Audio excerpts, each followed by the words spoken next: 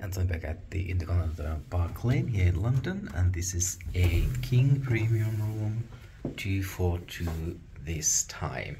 And this is a Diamond Ambassador upgrade, as I am no longer a Royal Ambassador.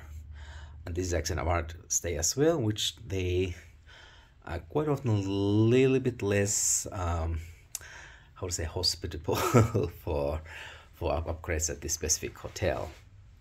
But let's start with the um, well closet space. Um, well, there's actually a more stable by the entrance, and it's really unfortunate that they uh, well you still have a you know tea and coffee facilities, but they used to have an excellent minibar here, which is nowadays completely empty.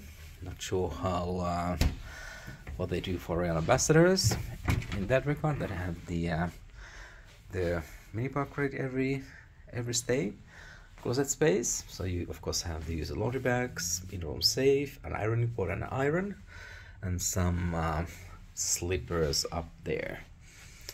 And well, it's a very urban park view. Here we have a work desk. Uh, and this banana and couple of apples is a, uh, I guess that's ambassador amenity.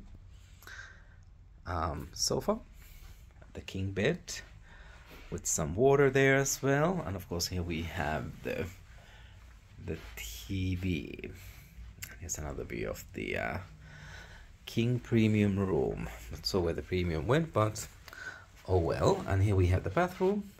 So you have the uh, uh, Byredo line of bathroom. Amenities here. I probably need to ask and bring me some mouthwash here. Shaving kits dental kits as they have none you have a toilet here and I'm not huge fan of these um, bathtub shower combos but at least they have a uh, proper shower head here. And of course more pump bottles there for body wash conditioner and a shampoo. And it seems that they don't have bathrobes anywhere but I guess that you can you can request those as well.